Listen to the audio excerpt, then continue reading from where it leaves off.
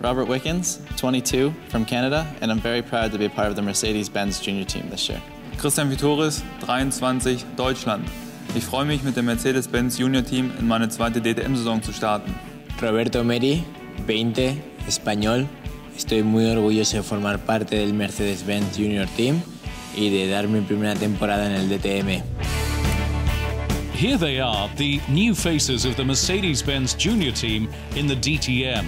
All three promising up and coming drivers. Before the season starts, there's plenty of preparation to be done on the track and away from it too. Today, they're posing for autograph cards in their new work clothes. Racing in the DTM also means getting used to being in front of the cameras. All three bring with them experience and success in Formula 3 DTM and the Renault World Series. Three young talents were clearly born with a passion for motorsport. Thanks to Mercedes Benz, this will now be developed in the right way. Most famously, we, we have had Michael Schumacher and uh, Karl Wendlinger, Fritz Kreutzpointner, uh, three young guys. Michael made it into Formula One, seven world titles. He's joining, he has joined our Formula One uh, Mercedes Works team uh, two years ago. So I think that that uh, tells the whole story. And now we start again with a DTM junior team, uh, three young, very talented guys. And I hope they will perform well and we will support them. Developing young drivers is a long-standing tradition at Mercedes. Seven-time Formula One world champion Michael Schumacher came through the system himself in 1990 and 91 as a member of the junior team, alongside Heinz-Harald Frentzen or Karl Wendlinger, who all drove for Sauber Mercedes in the Sports Prototype World Championship. With his 20 years of Formula One experience, Mercedes AMG Petronas driver gave the Mercedes-Benz junior team guidance and advice when they first met in Barcelona. You can learn a lot from a record breaker, but he hasn't forgotten his own first steps in motorsport.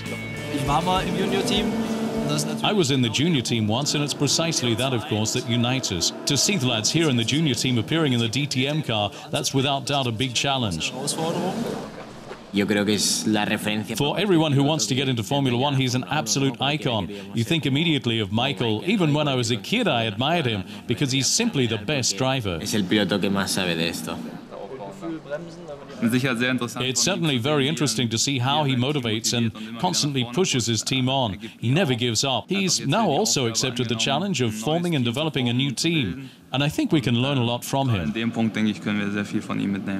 I was the reserve driver for Marussia Virgin Racing um, last year, so I was at all the Formula One races like he was, but it wasn't until really the, the driver's briefings where you'd actually see him in person, but um, it wasn't until um, a couple months ago in Barcelona where, where I met him for the first time. Mercedes-Benz goes the extra mile for young talent, and it works. In their Formula 3 days, eight of the current Formula 1 drivers were powered by Mercedes. Since its inception in 2003, the Formula 3 Euro Series, which is run on DTM race weekends, has produced a total of 13 Formula 1 drivers who came through the youth ranks at Mercedes-Benz. They include F1 world champions Lewis Hamilton and Sebastian Vettel and 2010 DTM champion Paul di Resta. In 2012, these young men are putting their trust in Mercedes-Benz driver development, and Mercedes-Benz is putting its trust in them. An exciting season awaits the Mercedes-Benz junior team. Smile, please.